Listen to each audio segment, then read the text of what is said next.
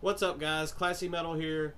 Um, I know this is my second video for the day. I'm actually doing good, getting some of these out of the way. I had a package come in today, so I figured this was as good time as any to uh, go ahead and record this and try to get caught up a little bit. I have some other uh, updates to show you guys eventually as well that I need to get videos for. But uh, I ordered all of these CDs that I just got from an eBay seller called Vinyl Asylum. I've ordered from them a, a few times before. They specialize in uh, used CDs, DVDs, and uh, even vinyl records.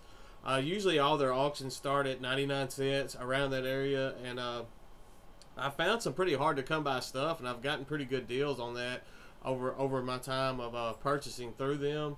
They had a CD come up that I've been meaning to pick up for years, and uh, I finally jumped on it on uh, these auctions, and I, with the combined shipping rates, I went ahead and I picked up some other stuff as well. Uh, I'll leave a link in the description so you guys can check out their uh, their eBay auctions as well. Because like I said, uh, usually you can get some stuff pretty cheap, and uh, the combined shipping is pretty awesome on it. So uh, that being said, the first album that I, the one that caused me to order this this whole order was uh, Iommi by Tony Iommi from Black Sabbath. Uh, there's a song on this where uh, he collaborates with Peter Steele of Type O Negative called "Just Say No." For, Just Say No to Love, which I absolutely love. Been meaning to pick this this CD up for ages, so I'm definitely happy that uh, it's a part of my collection now. Uh, the next one I scored for 99 cents, which was a super steal on this. Uh, not my favorite band in the world, but at this price, at that price, I couldn't pass this EP up. This is uh, the first press of I Wrestled a Bear Once, uh, self-titled. Like I said, it was 99 cents, so I, I could not bid on it. There we go. Uh, next up, I got a DVD sampler. It's a five song DVD sampler from Rush from their greatest hits. Um, the Chronicles, Rush Chronicles DVD. So I don't know how many people are fans of Rush on uh, on my channel, but definitely a worthwhile pickup for me. Like I said, I believe that was 99 cents as well. Uh, next up, we have some post metal. I picked up uh, Russian Circles.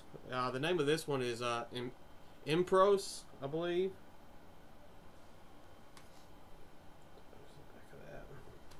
Also picked up some other Russian Circles disc in this as well, as you will see. I have uh, Enter not a super big fan of the, the packaging on this one. It's just that uh, real thin, digi, almost uh, mimics a vinyl where the CD just stays in there and gets scratched to pieces. So I'm not going to show the CD because I don't want to risk uh, scratching it up. And I picked up their uh, Memorials album as well from the same band, Russian Circles.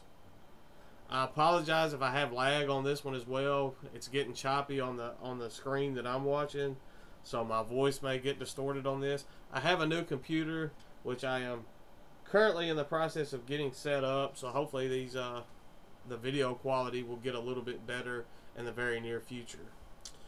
Uh, next up was a blind purchase. I've never uh, listened to this band. I actually forgot that I ordered this one with this order. Like I said, uh, this one was 99 cents as well. This is Otherwise with uh, True Love Never Dies. That's the name of this.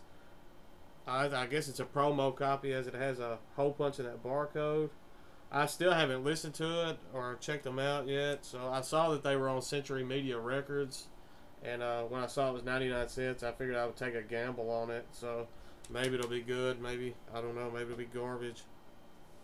Uh, next up, I guess I kind of got in uh, touch with my feminine side a little bit. I have a Great Northern with uh, Trading Twilight for Daylight. Some uh, indie pop.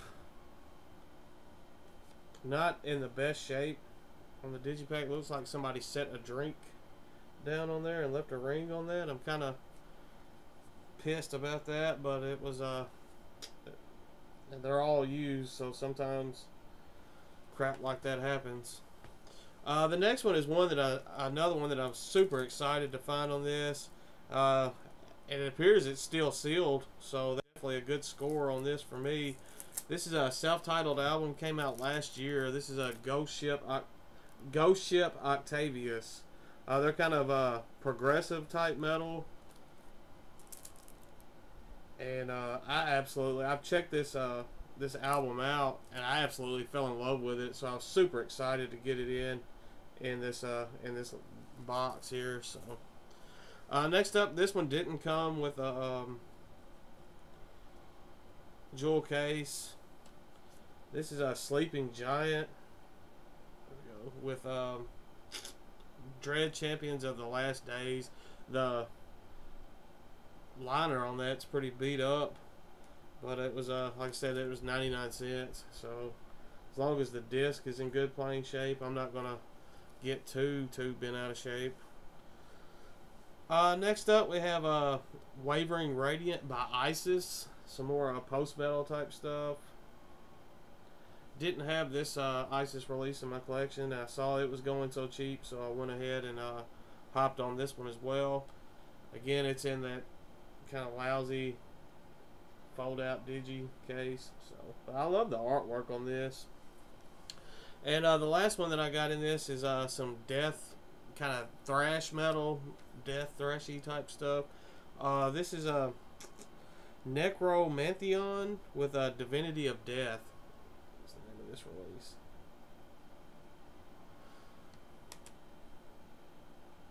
It uh, I know some of these didn't look like they were in the best shape, but I I saw the pictures online and bid on them anyway in that shape. Uh, if you're kind of worried about that and you were going to look, they have pretty detailed uh, photos of each of the items that are uh, up for bid, so you'll know you'll you'll know ahead of time what you're getting if you decide to throw a bid. But that's all I've got for this video.